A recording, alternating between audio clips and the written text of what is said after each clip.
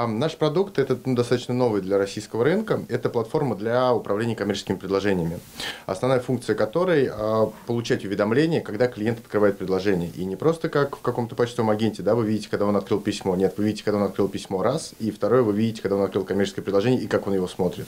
Соответственно, для вас это ну, может быть чем интересно? Тем, что вы можете позвонить ему именно в тот момент, когда он горячий, да, когда он смотрит предложение, когда он выделил время на, вот, на, на вашу компанию. Это основное. Есть еще э, другие функции, такие как сбор аналитики. То есть вы можете теперь ваши коммерческие предложения, ну, это может быть предложение, это может быть welcome презентация. И э, вы можете ее дорабатывать на основе статистики, а не на основе вкуса отдельных сотрудников компании. А третья функция – это управление онлайн-презентацией, то есть вы, в принципе, можете э, на мониторе э, вашего клиента управлять презентацией, рассказывать ему э, там, то, что вы считаете нужным, да, показывать те слайды, которые вы хотите.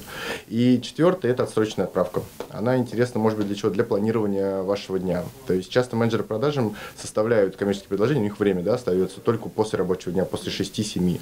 Соответственно, вы можете сделать все письма, да, подготовить для отправки, указать время, например, следующего дня 10 утра отправку всем клиентам, клиентам, да, и вы придете на работу на следующий день, в 10 часов отправится предложение всем вашим клиентам, и вы будете уже смотреть, когда они их открывают, и звонить, пока не горячие.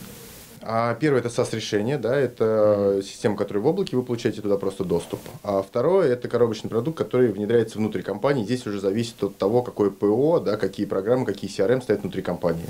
А мы можем выполнять ее сами, да, мы можем выполнять ее, там, например, за счет э, каких-то подрядчиков клиента, если для него это важно. То есть здесь мы гибкие, ну, мы больше работаем все-таки на результат, да, чтобы наш продукт был полезен. Mm-hmm. Это важнее. Именно поэтому мы там начинаем, все проекты начинаем обязательно с пилота. Мы там не пытаемся продать подписку на год сразу, да, нам важно там здесь сейчас на берегу определиться, насколько это эффективно, чтобы потом клиент был доволен и пользовался нашей услугой. Целевую аудиторию можно разделить, наверное, а, двумя способами. Да? Первый способ по, а, наверное, по размеру бизнеса. А SaaS-решение – это чаще всего там, малый и средний бизнес и там, нано-бизнес. Uh-huh. А внедрение внутри компании – это уже средний крупный бизнес. Либо же это может быть разделение на а, насколько зарегламентирован процесс продажи. Есть компании, которые пользуются внешними почтовыми агентами, да, например, или какими-то почтовыми клиентами, например, там, Outlook тот же самый, и он не привязан к CRM-системе. Вот тогда это может быть SaaS-решение, да, для них достаточно удобно. Если же у них а, процесс отправки коммерческих предложений, процесс звонков встроен внутрь CRM, то здесь лучше, наверное, интеграция именно с ними, именно с их ПО человек занимается продажами, да, он а, начал свою карьеру менеджера, он продает, он делает это непонятно как, когда-то получается, когда-то нет, да, потом его отправляют на тренинг по продажам, и он для себя открывает огромную область, как технология продаж, да, он понимает, что появились какие-то там пять точек, да, вот эти пять этапов продаж, где он может влиять на принятие решения клиента и каким-то образом влиять на вот процесс сделки, на скорость сделки, там, на качество сделки. Вот здесь то же самое, да, и основная проблема в том, а, чтобы высветить эту зону для клиентов часто это не всегда понятно бывает, а иногда, может быть, кто-то не готов да, к этому. Вот, наверное, вот такие основные возражения. И основная сложность, да, показать, что, а, коллеги, есть еще точки а, воздействия на вашу конверсию. Как я уже говорил на выступлении, а, где мы можем воздействовать на клиента при отправке коммерческого предложения, как мы можем увеличить конверсию? Первое – это работа с продуктом. Да? То есть мы можем, там, например, уронить цену, и тогда коммерческое предложение будет отличное.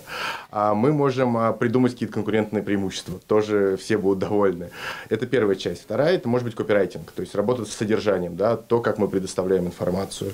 И как раз вот наш сервис – это вот третья точка, которая может влиять на конверсию, и причем очень сильно. То есть звонить вовремя клиенту. Есть люди, которые в кризис понимают, что что-то случилось, и у нас нет денег, да и надо быстрее-быстрее искать деньги. А есть руководители, которые а, скорее у них другой подход, да, то есть они накопили какую-то там базу свою, да, там ресурсов, не обязательно mm-hmm. денег, и они понимают, что в кризис можно заниматься собой. И очень, э, на самом деле, это достаточно эффективно, да, когда внешние рынки нестабильны, когда ну, вовне компании непонятно, что происходит, и мы на этом как-то слабо можем влиять нашими ресурсами ну, нашей компании, да, нашей системы, uh-huh, uh-huh. то как раз есть время, чтобы остановиться, передохнуть и наладить что-то, что есть внутри. Вот а, скорее Наверное, мы рассчитаны вот на этих людей, да, и наш сервис тоже э, больше для них, которые готовы оптимизировать во время кризиса, которые готовы э, посмотреть, где у них болит, быстро подлечить, да, когда кризис закончится, чтобы стартануть намного быстрее, чем их конкуренты, которые вот пытались в кризис быстрее-быстрее где-то найти еще денег.